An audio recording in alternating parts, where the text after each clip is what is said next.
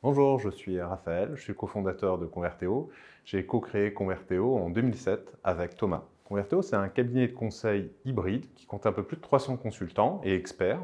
On y retrouve des sujets aussi bien opérationnels que stratégiques. On mixe des sujets métiers avec la data et le digital.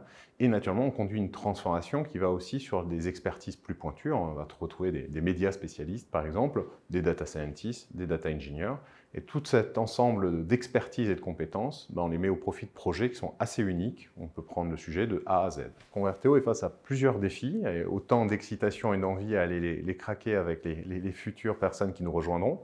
On a un aspect de croissance quantitative et qualitative, donc on cherche à recruter toujours des personnes ultra motivées et à la fois humbles et capables d'aller sur des territoires nouveaux. Donc tout ce potentiel, on souhaite le mettre au profit de sujets de type data pour d'autres métiers que le marketing. Et aujourd'hui, ça signifie ben, peut-être aller sur le procurement, aller sur des sujets de supply chain.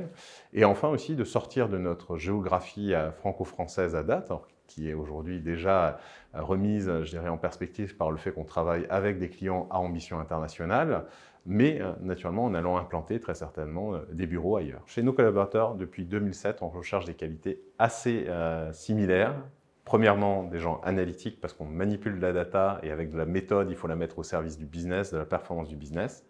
Deuxième qualité requise, c'est la partie, euh, je dirais, euh, humilité et capacité à se remettre en question. On est dans des apprentissages constants et permanents qu'on croise avec une troisième, je dirais, dimension qui est du potentiel.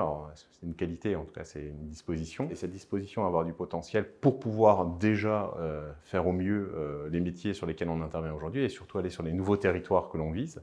Et la quatrième, c'est la bienveillance, une attitude bienveillante aujourd'hui, notamment à mettre à, disposition son savoir au profit des autres. Et mon savoir croisé avec ton savoir a beaucoup plus de valeur que naturellement chacun de son côté.